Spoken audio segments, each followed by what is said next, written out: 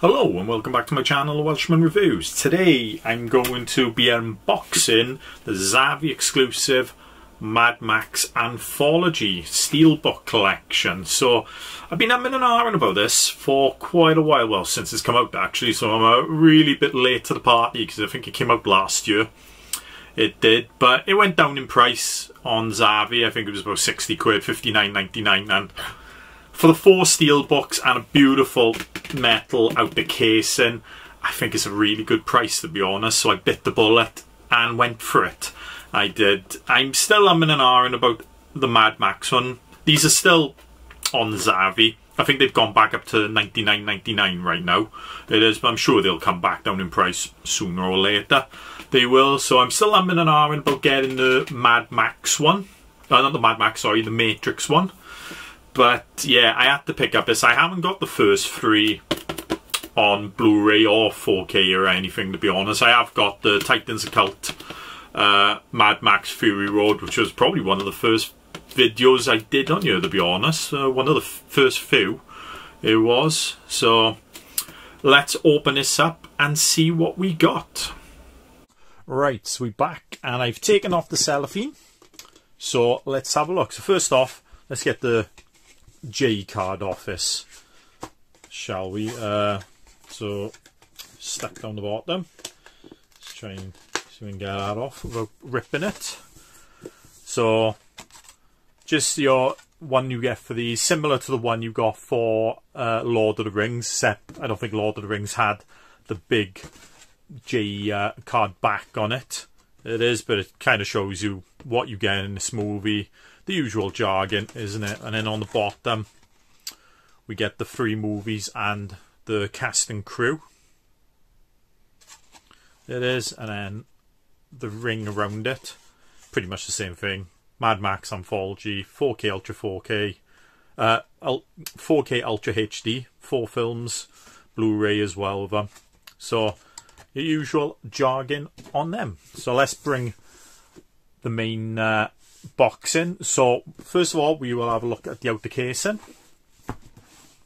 So pretty much same picture on the both sides.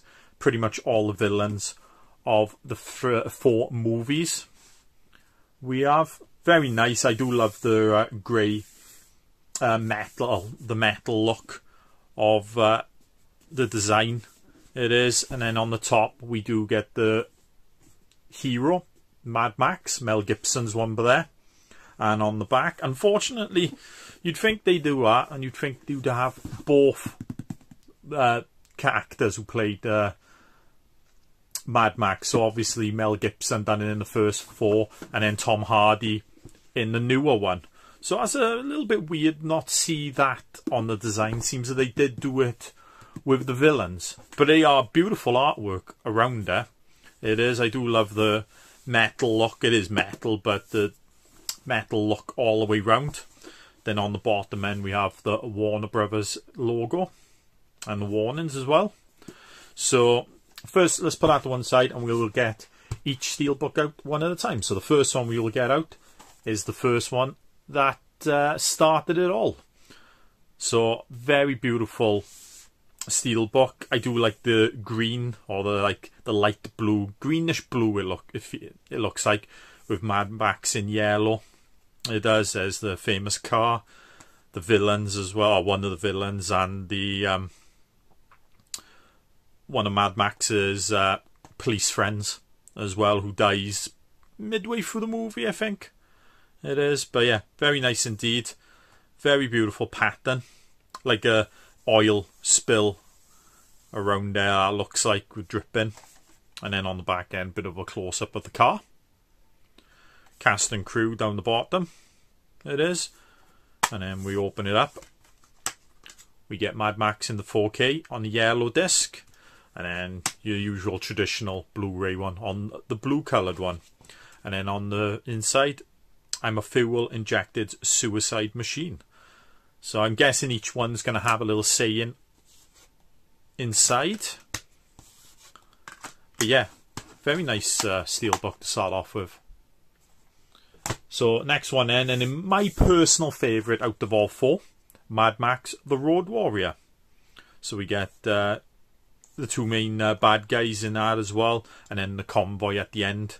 The lorry he's driving to get away with the fuel, or what you think is fuel. Spoiler, it's not. They just filled it up with sand. But yeah, my favourite out of the lot. And then we get the car in the back again, similar. Is yeah, definitely my favourite out of the lot. Followed by probably Fury Road then. So it's the same again. Mad Max Road, uh, the Road Warrior on a yellow disc, and the Blu-ray one on the blue color disc. And then on the inside there, you want to get out of here, you talk to me. Very nice. It is a bit of a different uh, one. It's still similar, but a few little different designs around it. Then we get the third one, which probably is the weakest one out of the lot, but it's still a pretty good movie, a pretty fun movie. It is. So you have Tina Turner as the main bad guy, but there. It is. Again with the little design, but it looks like the design around it is the Thunderdome. It is. So Mad Max again in yellow. Lovely red background. I do like they're all different colours. And then we have a little bit of a convoy again at the on the back again. So very nice. So I won't take the discs out because it's going to be blank behind there anyway, but it's the usual coloured discs as well. Two men enter, one man leaves. So very nice. And then last but not least, my second favourite in the franchise, Mad Max Fury Road. Obviously, um, oh God, George Miller came back to direct this one, and he done an amazing job. One of my favourite films of this year. It was. It could have been my favourite film actually of that year. It is, but yeah, brilliant actress. Uh, Charlize uh, Theron. I love her as an actress and all. I'll watch her in anything.